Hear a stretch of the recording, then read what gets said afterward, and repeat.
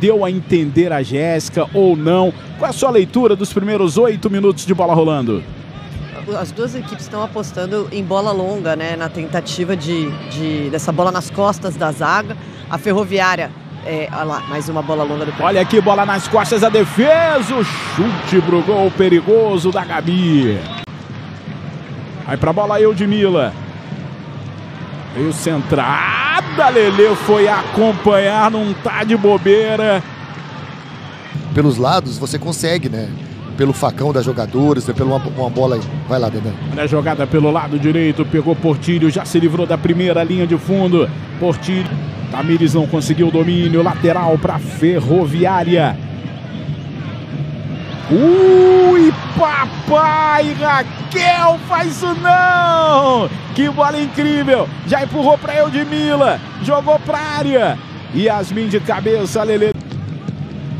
29 minutos, mais uma saída de bola. Entregou, botou na Jennifer Fernanda, isola! É a decisão do Brasileirão no seu feriadão de 7 de setembro. Olha o toque para o meio, boa jogada, se manda. Arrumou, pode até bater de fora. Passe para Fernanda. Fernanda tem que calibrar a pontaria. Jogou pelo alto, pela direita, vem cruzamento, rasteirinha para Jennifer, arrumou, puxou de biquinho lá dentro!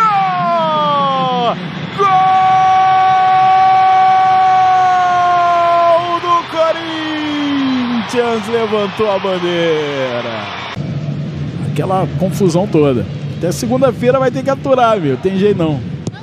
Olha a bola na altura da primeira trave, o desvio, ela trisca, vai embora pela linha de fundo. Já tocou na esquerda para Barrinha. Aí fica difícil, né? Ela é boa, é fenômeno quase, faz muito gol, mas, mas sozinha não dá, né, Paulo Nunes? Escolheu agora errado, né, a Barrinha, né? Tava sozinha, não tinha ninguém dentro da área, podia voltar a bola de novo para a Aline, que ela tocou para respirar, né? A jogadora também é pensa. Tocou, respiro, recebo de novo e vou para dentro. A Barrinha quis cruzar. Alô, Barrinha! Presta atenção no serviço, Barrinha. Uh, entrada era a Fernanda. Entrou bem no jogo a Fernanda, hein? Agora a